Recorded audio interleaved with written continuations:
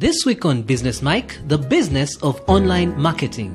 My guest today is Diane Basemera. She's the founder and CEO of Amooti, an online marketplace that provides easy access to African inspired art, culture, fashion, and other products. In today's show, Diane shares the story of how she started her company, as well as some of the challenges she experienced and how she overcame them.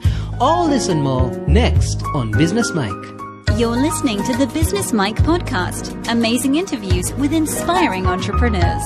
For more amazing interviews, go to www.businessmic.com or download our podcast every Monday from Pod Africa. Hello and welcome to another episode of Business Mic. My name is Daudi Mugabi and joining me today is Diane. Diane, can you please tell the listeners a little bit about yourself and what you do? Okay, so uh, my name is Diane Basemera, and I'm an online entrepreneur. Well, by that I mean I'm an entrepreneur really best online. You won't get me physically, well, unless of course we have meetings. But I am the founder and CEO of Amooti.org. And um, Amooti is an online marketplace that provides easy access to African inspired art, culture, and fashion. Right, and I've been on your website, so the way I understand it is like Amooti is almost like Amazon, only that the people can put uh, items onto the website themselves, and those items are African typically. Exactly. Yeah, you you that's that's the other catch line or the metaphor I use to describe my business. Um, if I don't want to get into so many explanations, I'll always say it's the Amazon for Africa.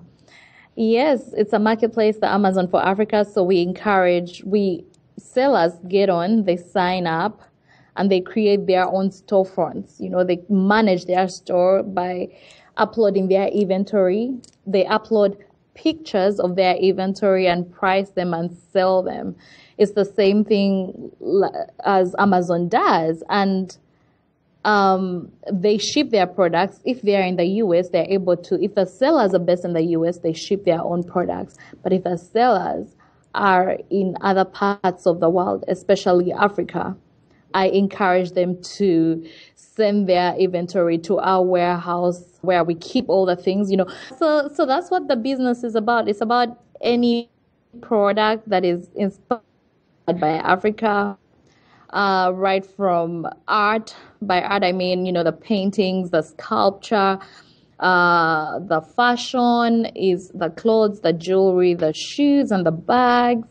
Every product on the platform is fully described with information to, you know, explain where where was it made from. Was it made from Uganda? Was it made from Sudan? Was it from made from Nigeria? And was what what inspired it?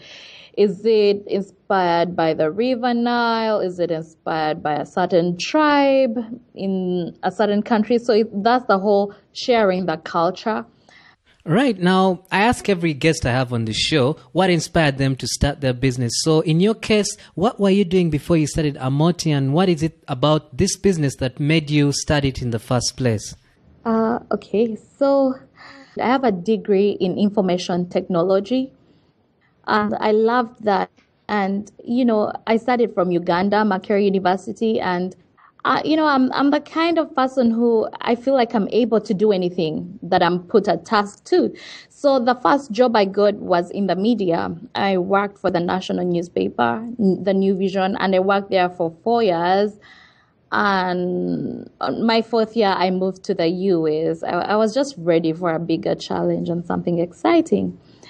And when I got to the US, I did my first IT job, which is interesting because, uh, you know, when I got here, people discouraged me. They're like, oh, you know, you immigrants, when you immigrants come here, you're supposed to get into things like nursing. That's all you can do. That's the only place you, you can easily get into.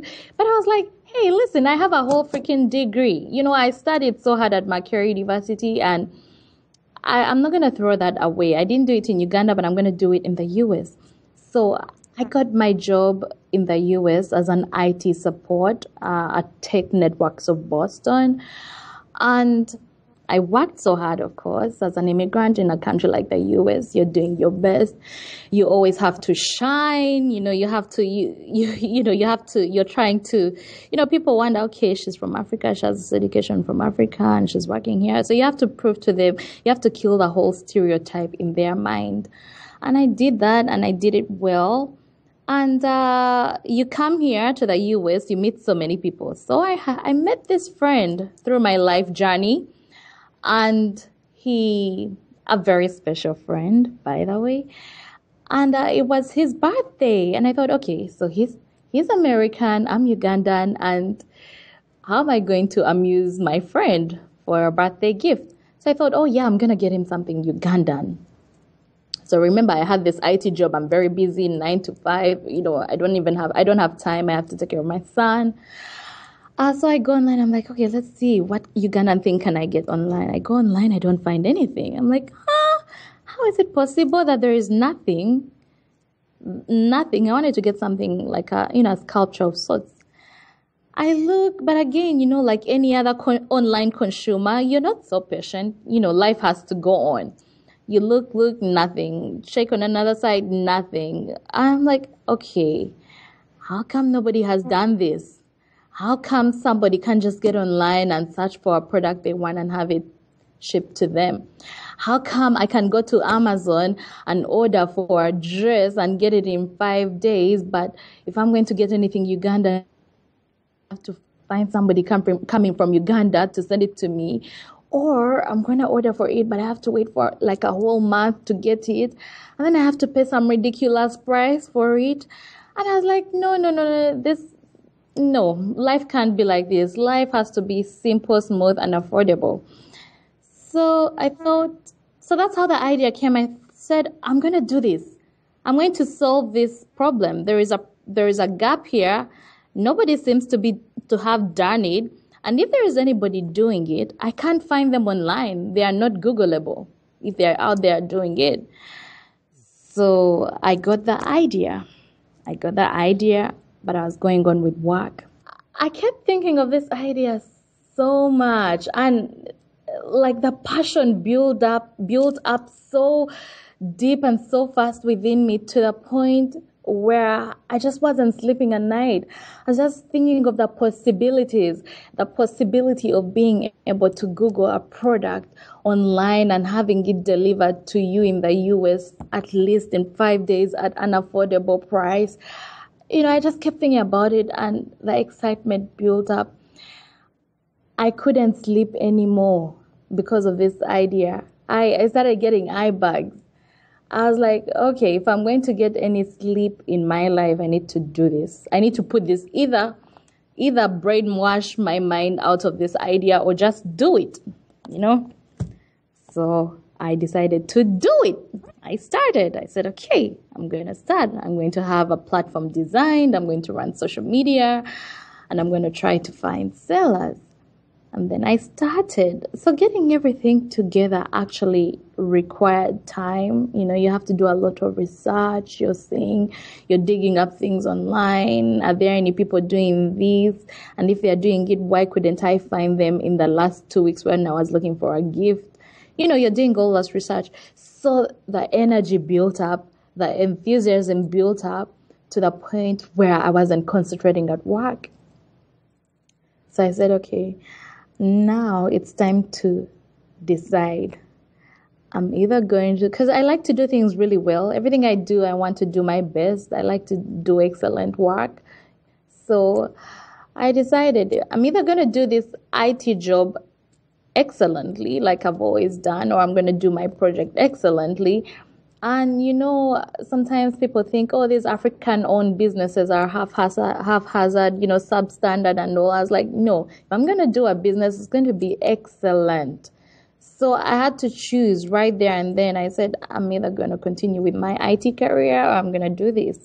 But if, but this other idea is so exciting that I can't sleep, yet I can sleep with my IT job, I can sleep. You know, I go home, sleep, have a pro- proper, you know, quality sleep. But with this idea, it's so exciting. I don't sleep well, so I I put in my resignation at work. I told them um, I'm gonna take some time off and figure out my life because I have this exciting idea that is making me, you know, not work to the best of my abilities. And yeah, that's how I started amooti.org. Right now, you mentioned the research in there. Now, that research obviously involves a couple of things. For instance, a platform like yours, um, you should be able to get in touch with people that are willing to upload or sell items that are African, but then also you need to be able to find the people to buy them. So, how do you go about bridging those two things because they're two different um, stakeholders who are very key for your business to be successful. Okay, so first of all, this business was officially launched May 1st this year, 2016. And uh, I was I started the conversation. I spoke to potential sellers and consumers, but really the actual the actual action starts when the platform is ready and people can now see what is going on and how they're going to use it. So that started this year in May, and at first I went all out. Um, you know, just going out there to festivals or wherever there there were many people and thinking that oh I'll, I'll, pick whoever gets on board if it's a consumer if it's a seller first you know whoever i get on board first is what's going to work. I quickly learned that in the beginning and realized that no it's you have to create a strategy. And my strategy lately has been finding the sellers. My strategy is to fill the fill the marketplace with as many sellers as i can uh, how am I finding these sellers is the question you had. So I have been, first of all, I've been finding them on social media. There are different people trying to do uh, different things out there, but many of them don't have a website. You know, they don't have that web portal where products can be shopped online, but they use their social media campaigns and are found locally. So I've used social media. I've gone out there to cultural events or festivals and talked to people directly and, you know, gathered their contacts and told them, listen, this is what's happening. Uh, get on board and, you know, sell. Uh, with the consumers, I have while attending these festivals, I've also had to sell inventory because as you, as I talked about, as I've been talking about my business, you know, I've had to display what do you mean by African inspired products. So you, at these events, you show them that, so this is what an African inspired dress would look like or the jewelry or the bag. So that way, that's how I've also been picking up uh, potential consumers or even consumers themselves. I've been out there. I network a lot. I'm always attending events around Boston. So that's our I've sellers and consumers. And then, of course, there is the whole reference. You know, when you do a good job, people refer you. Earlier, you mentioned that some of the probable companies that were perhaps doing what you're doing now were not easily found online. But what else, or what other reasons did you notice for some of these companies not existing in the first place? Because sometimes we want to start a business, but then probably somebody else has thought of the same idea, but for some reason it hasn't worked. What were some of the few things you noticed as to why a business just like this didn't exist in the first place? So, okay. So going around and finding these sellers, potential sellers, and the sellers, the actual sellers, when you talk to them, they'll tell you one, it's challenging and expensive a website sell products. It's challenging setting it up, maintaining it, and you know following up all that stuff. It's a lot of work and it's expensive, so they haven't really done it. And then, from my own experience, I have realized that um, you can't, unless you have a big team, you can't really be a producer and a web designer, a, a web admin and a marketer. You can't be, let me break it down. You can't be a fashion designer. You can't be the guy who's going to come up with the designs and be the same guy who's going to come up with a good website and be the, the same person who's going to market your product. You need help with these things. So you're either going to employ a team to do this for you, or you're going to take on a service like mine, where you're going to get a storefront and we're going to market it for you and you're not going to you're not going to be the only person in the marketplace. You're going to be other sellers and you're going to tap on to the consumers for those other sellers. So uh, many of these people have had that challenge of creating websites that challenge of marketing themselves because you know to do anything well especially in the us it's, it's a little bit not like uganda the dynamics here. There is a lot of uh, people are so into doing things the professional way. I can't even, they're so into the whole keeping the standard, keeping high quality. You know, it's it's about quality, it's about the standard, it's about the professionalism. If you think you're going to create a product and it's just not done to perfection, nobody's going to buy it. If you think you're going to put up a website and it's just, you know, not like to perfection. Nobody's going to go there. And honestly, it's challenging for these uh, small business owners to do all these things. So, so many of them have focused on just producing their, creating their product. Uh, the ones who have websites haven't figured out how to be Googleable, you know, how to appear on the first page or the second page of Google. If somebody uh, types in African products or African goods, they, you know, they haven't figured out how to do that. And from what I have learned from my own experience, it requires, you know, search engine optimization. And that in there is an investment. It's an investment that can only be understood by a marketer, not not by a creator. But you know, a creator would understand it too. But you know, so people a creator will look, okay, should I invest in my product? Should I invest in creating this shoe or bag or should I invest in search engine optimization? Now I'm talking about small business owners or startups. I'm not talking about the big companies. Well, I haven't shed known of any African doing something big that is all over the park, but so it's it's a question of priorities and many of them are small businesses who have priorities what else? So the niche I'm um, basically, the gap I'm feeling in this business is creating a market where I'm, these people already have a market, but I'm expanding their market even more. I'm expanding their market from the local market to something bigger and international. I am solving the problem of the people who don't want to get into creating websites, people who don't want to get into marketing.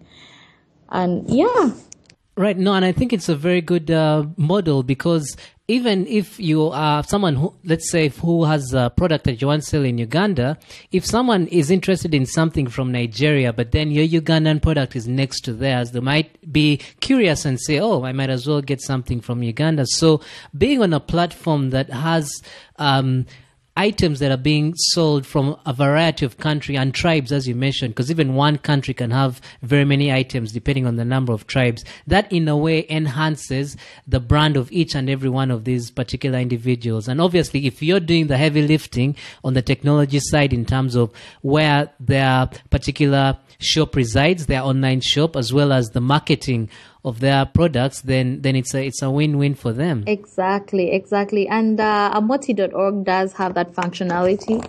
Uh, if you get in there, if a person creates a store, they can see that um, you know you can create your profile uh, where you're located. People will see that, oh, he's located in Uganda, he's located in Nigeria, he's located in South Africa. And, you know, you put up your little story and say, oh, the products I'm making are inspired by these, or these products are made by uh, women in uh, Sudanese women who are, you know, struggling to pay school fees for their kids. So, so there we have that blog element on the platform where people can you know, tell their story and, you know, tell people why they're doing what they're doing. So it's, it's, uh, it's really some fancy thing going on on amooti.org.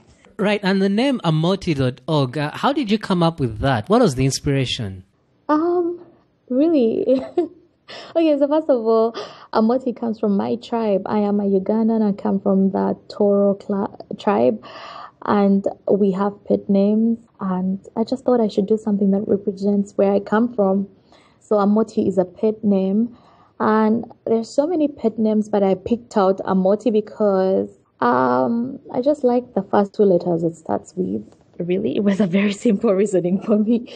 Uh, I wanted Amooti to appear first on the directory. Any directory, Amooti will appear first. Uh, secondly, uh, Amooti will appear next to Amazon because I have that AM thing going on. Really, nothing big, nothing, you know, it's just silly, silly facts. It just, you know, silly but important and influential in one way or the other, you know. It's, uh, it's an opportunity, an opportunity. I just thought it's a little window that I should open for myself that way. Also, Amooti means flower. Amooti means flower, and uh, flowers mean a lot to me. So, yeah, it's all that. That's how I got the name. Right, and obviously, getting a name that is unique is very important, as you mentioned earlier, for search engine optimization. So, if you have a name or if your brand has a combination of letters that is unique to anything else, as soon as someone types that in Google, for sure it will come up on the very first page simply because nothing else like that exists. So uh, your name Amooti is one of those examples which stands out for sure as a, as a brand name. Yeah, thank you. I, I just want to get back to another point that you mentioned earlier when you said that um, some of the business people they don't know where to invest fast, especially when they're starting out. So this this happens so many people, myself included. You when you're starting a company and you're building a brand, and there's so many directions you can go in. Do I focus on the product? Do I focus on the marketing? Do I focus on the branding? Do I look for customers now? What, there's so many things you can do, and sometimes you need advice from either someone or something. So in your case, do you have an individual that you normally interact with for help, or are there any particular websites that maybe you refer to for some of this business advice? It's important to have a support group. And I have support in the US. I, I meet with like-minded entrepreneurs. There are different organizations here where, you know, you get different trainings. And one of the trainings that, you know, one of the things that I ignored in the beginning was that I didn't consider very important was writing a business plan. You know, uh, you know, when you tell somebody, "Yeah, I'm starting a business," da, da, da, they'll say, "Okay, have you written a business plan?" You're like, "No, my, but I know my idea and I know how exactly it's going to run and I know what I need to do." But that's not enough. You need to write a business plan, and by the time you're done writing or drafting that business plan, your idea has you, you you know you start to look at your idea differently and you know exactly what you want. And it's this plan that will kind of give you a direction you know. So after doing the business plan you then write out a strategic plan now that i have my business idea it's here. Because the other thing is that if you also don't write a business plan it's so easy to stray off the main reason why you started. What was your mission why, why am I doing this? What problem am I solving? What need am I catering to? Or what pain am I trying to take away? The business plan helps you stay on, on board, online to whatever, online, online of what you're trying to do. After the business plan, write out a strategic plan. I know that everybody has a strategy in their head because, of course, their heads work. They say, okay, I'll start with this, then I'll do this, I'll design a website, and after designing the website, I'll look for uh, sellers, and after sellers, I'll do this and that. No, that's not enough. You need to write down things. There is power in writing. There is the way your mind processes things differently when you write things down. So a strategic plan will help you prioritize what is important to your business. And what may be important for my business may not necessarily be the same priority for your business. So writing it down helps. I have a mentor. Um, my mentor is a very smart man and uh, he's you know he's been around he's done he's started business startup he's he has many startups of his own and um, he's the kind of person actually i have two mentors he's the kind of person i'll talk to and say you know what i'm having a bad day i feel like nothing is going on like i i'm i just you know, I tell him that I just need, right now, I need to be in this place, but I'm still here. So he's, he's given me so much advice on what to do. And some of the advice he's given me is, you know, managing my time and being real with what my present life is, you know. That kind of support is really helpful. That's writing out things. Um, so we've done a lot of time management, making to-do lists. So, you know, you can always do that to-do lists in your head and all, but writing them down totally gives you a whole different experience, totally different. Um, being real with your life. Where am I? What can I do right now? What is my potential right now?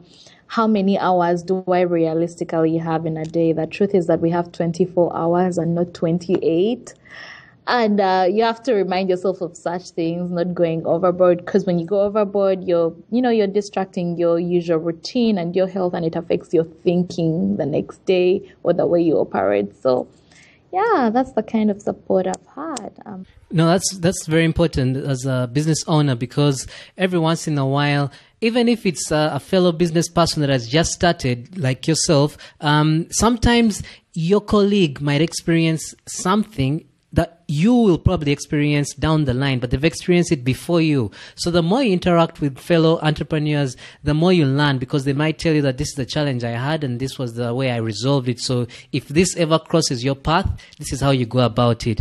And sometimes we, well, entrepreneurs in a weird way, because they're able to formulate an idea that can generate money, there's a tendency to believe they're smart, so they don't necessarily sometimes accept advice from other people, or sometimes they live in a bubble or a cocoon that I, I think this is the way it should be solved. I think it should go like this. I think, I think, as opposed to interacting with other people like themselves, or even people, as you mentioned, who are far more experienced that have seen everything they're seeing at the moment a hundred times, and it's it's definitely um, one of the few things that not many entrepreneurs do that, that I think should be done more often. I think I've also found a few support groups on uh, social media.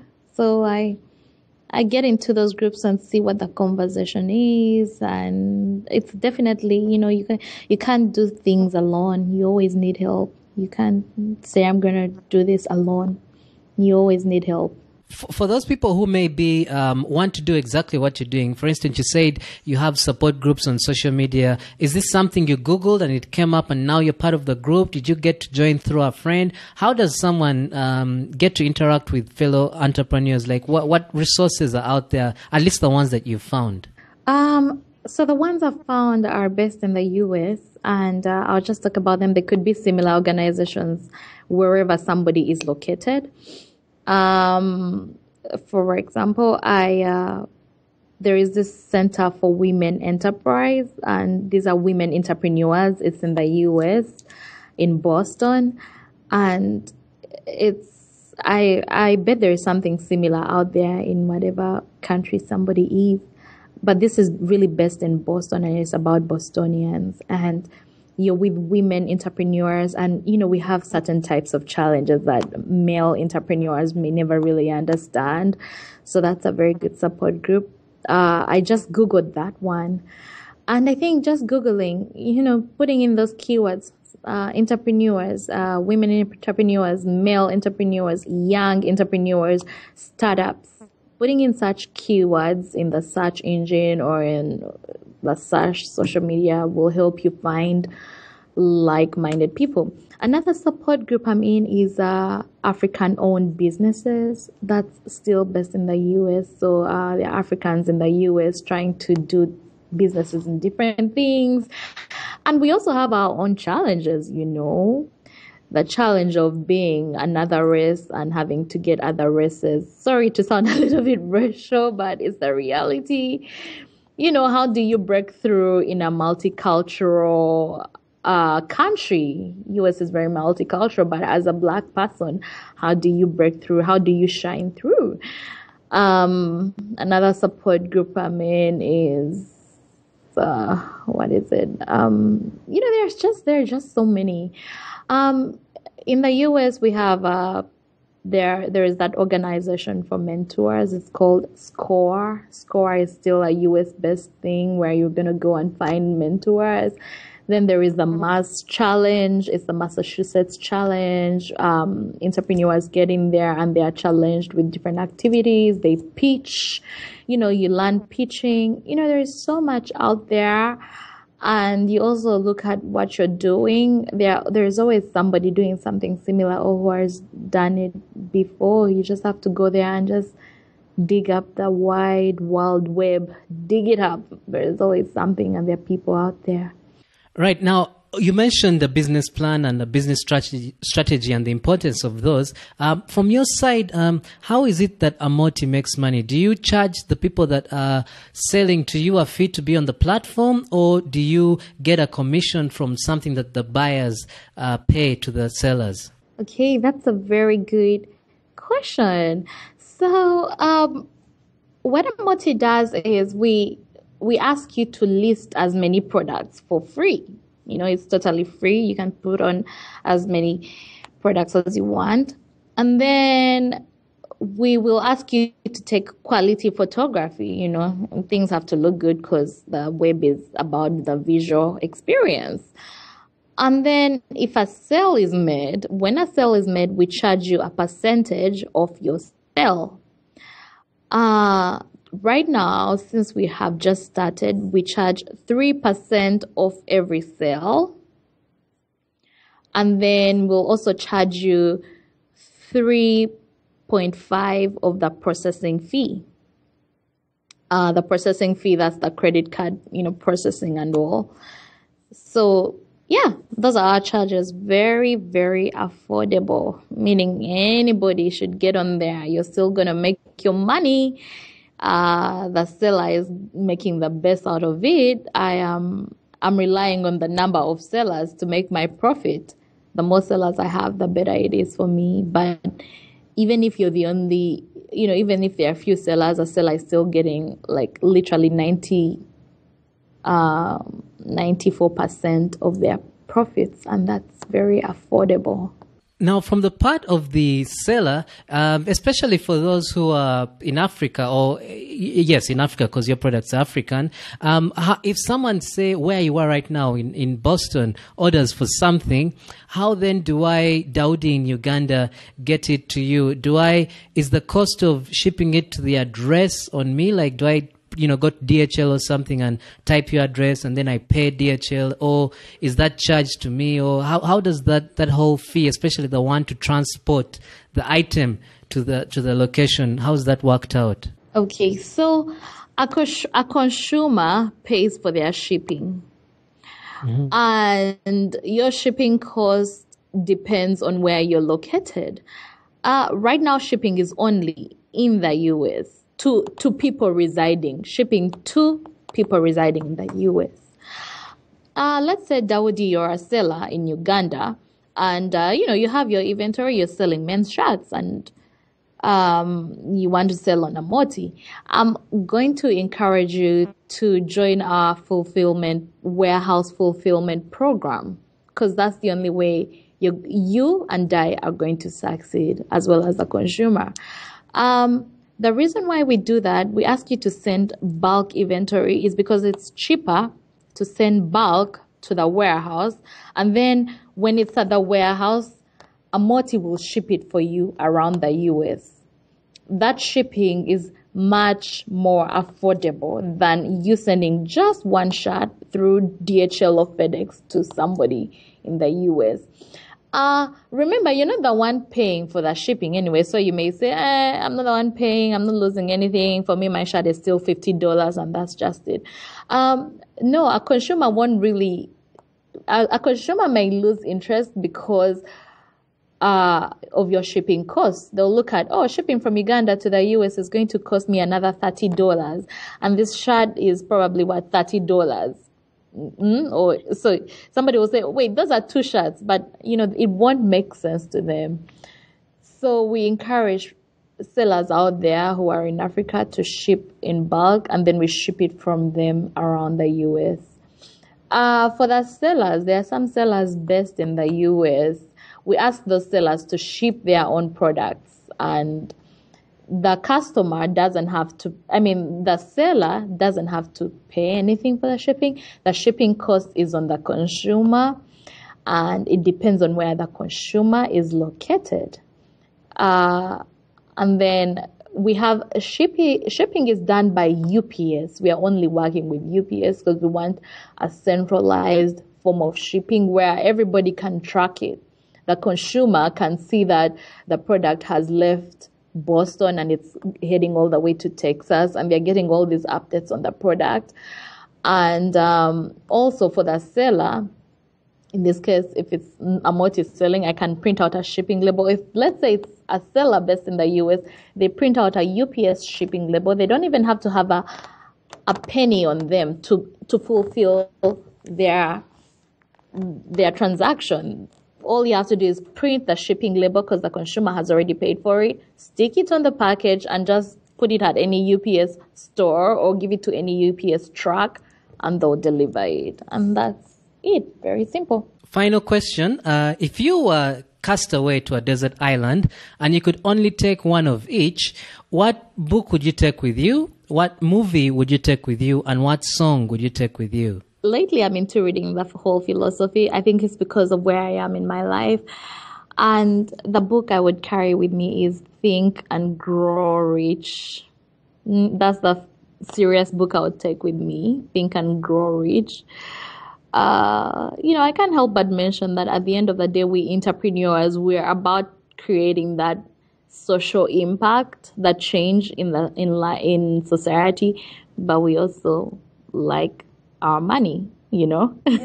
We we we want to create a change but we want to benefit from creating that change. We want to change people's lives out there but we also want to earn from creating that change. So think and grow rich would be the book i'll take.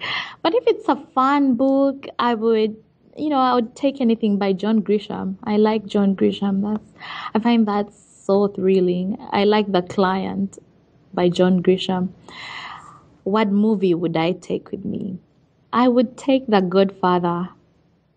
I would take The Godfather because everybody talks about The Godfather, but I've I've really I've never gotten time to watch The Godfather. I'm more into the social life, being with people. I don't really sit down to watch TV. I'm more into human interaction and I've never I never really have that time to sit down. So I guess on an island I'll sit by myself and watch The Godfather and know about what people talk about, what people, you know, praise, you know, what the big deal. I want to see the big deal. Well, it's it's it's a bit like an, an, entrepreneurial situation. The only difference is they, they tend to solve their problems in unique ways by maybe literally eliminating the competition. well, I guess it's my kind of movie if we're talking about entrepreneurship. So yeah, um, what what else? What's the third? A song, a song. song. Oh my god, I love Madonna. I love Madonna of the 90s or the 80s. So if I would play one song of Madonna over and over again, it's like a prayer just like a prayer, you know I'll take you there. That's Madonna. That's my song. I like the old Madonna. It's so easy for us entrepreneurs to get lost into working without downtime, without sitting down to watch a, a movie or a book or a or listen to music because you know if you're running your own business everything is on you and you feel like oh my god it's me. I'm answerable to myself. It's me. I decide. And you know you get lost into working for what 28 hours instead of you know having to work like for 12 hours and you know have some sleep. It's so easy for us to get lost in that. And um my i also i didn't mention i have a career coach who's who's also like my mentor, but his role is to, it's part of the support I have. His role is really to always check on me and ask, did you sit down on your couch this week? You know, because it's it's so easy to get lost in working and working and he asks me did you sit on your couch? Did you did you watch a movie? Did you turn on your tv did you you know did you uh, do such downtime things? So those things are very important to refresh and recharge and uh, I want to encourage people not to get lost. I don't know if other entrepreneurs face this, but it's my challenge. I just work and work nonstop and I obsess and I just don't stop and I just need help. I need somebody to remind me to sit on the couch and turn on the TV or, you know, get out and do something. So, yeah, it's important.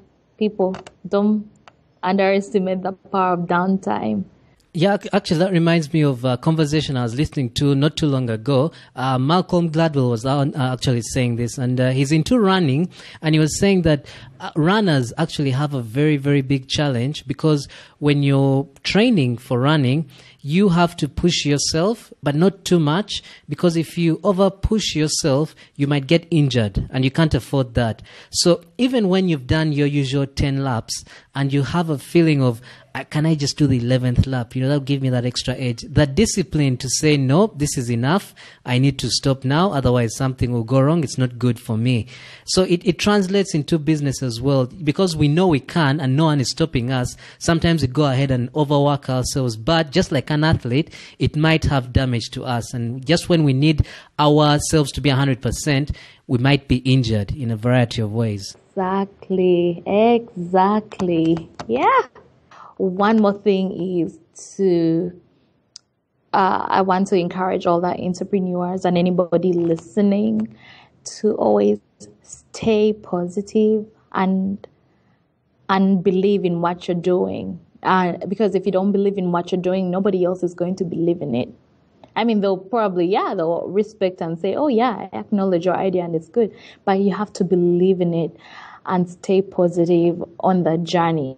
It's um, the journey to build something is always tough, but the rewards are at the end when everything is set up. So stay positive, stay with like-minded people who are positive, keep away from the negative people who will discourage you and say, "Oh, for only 3 months is this all you've done? Oh, this and this and that." So keep positive, stay positive and meditate. Right, that brings us to the end of the interview. Thank you so much, Dan, for sharing all this expertise, you know, as a business owner and someone in the online field. How can people get in touch with you on your website or email or even social media to learn more about Amooti? Oh yeah, yeah, yeah. Um, so the website is www.amooti.org or just amooti.org. That's the website. Uh, the social media on Facebook, just search for Amooti. On uh, Instagram, search for Amooti uh, dash org. I'm on every platform. Just search for amooti.org or amooti dash org. Amooti. And then if you want to email me, email me at Diane B at amooti.org, which is D I A N B at Amooti, which is A M O O T I dot O R G or info dot O R G, info at amooti dot O R G. Uh, get on the website, you'll get all the information you need to reach out. And um, I'm happy to receive any emails. I tend to reply them as soon as I can, unless life is happening. So, yeah. Well, thank you once again, uh, Diane, for everything you've shared with us today, and we wish you the very best with Amooti. Okay, thank you too. Thanks for giving me this opportunity. Thanks for listening to the Business Mic podcast. I hope you enjoyed the show. If you'd like to listen to more episodes just like this one, simply go to businessmic.com. I would love to hear from you. So if you've got any questions or feedback, you can reach me on Twitter at Daudi Mugabi, on Facebook at Business Mic, or email that's daudi at businessmic.com. Don't forget, we have a brand new episode every Monday. And until then, take care.